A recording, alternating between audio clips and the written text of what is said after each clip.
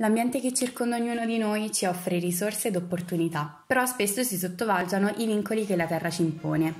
Gli uomini rischiano di rompere un equilibrio molto delicato. Ci troviamo in Abruzzo, precisamente nella Marsica. Abitiamo città e paesi che si estendono attorno a una pianura chiamata Fusino, dove si pratica un'agricoltura di tipo intensivo che costituisce la voce più importante dell'economia marsicana. Come ti chiami? Angela, Penso. Che lavoro fate? Imprenditore agricolo, Da quanti anni?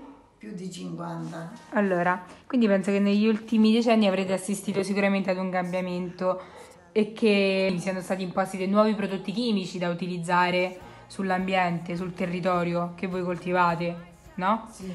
Un esempio di questi?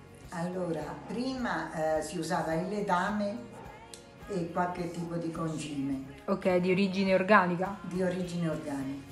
Adesso ci sono sempre il letame, concimi, concimi solubili nell'acqua, sono detti concime fogliari. E questo sicuramente ha avuto un impatto positivo per voi per quanto riguarda la fatica del lavoro. eh, Mentre sull'ambiente? E l'acqua non, dà nessun, non danneggia nulla, quello che danneggia qualcosa sono i pesticidi. E poi abbiamo detto anche che quindi negli ultimi dieci anni invece questi pesticidi ne è stato un po' controllato l'uso. Controllato, sì, proprio controllato. Come?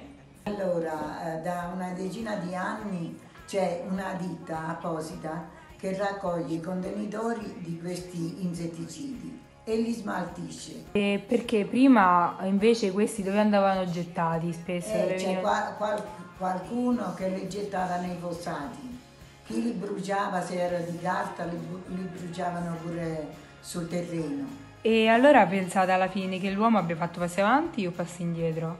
E avanti. Tu solo avanti? E qualche indietro. Salve a tutti, mi chiamo Tommaso De Arcangelis del Forno, sono un apicoltore. Pensi che l'ambiente in cui vivono le api e le condizioni di quest'ultimo possono influenzare il loro ciclo vitale e la loro produzione? Sì, in base alla loro collocazione e quindi alla biodiversità del posto, sia la produzione che il ciclo vitale possono variare.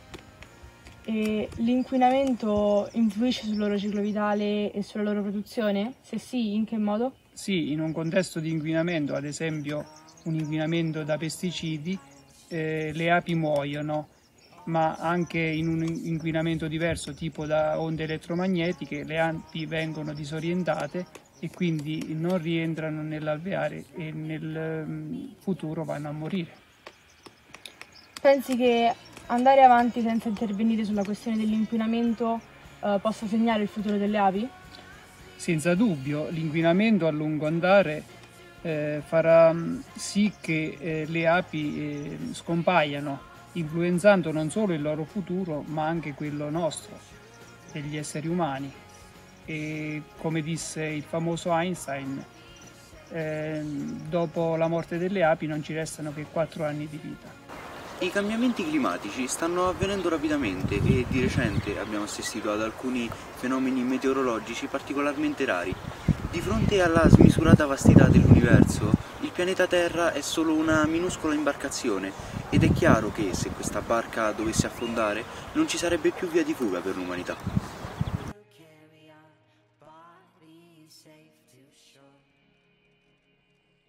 the truth may vary, this ship will carry our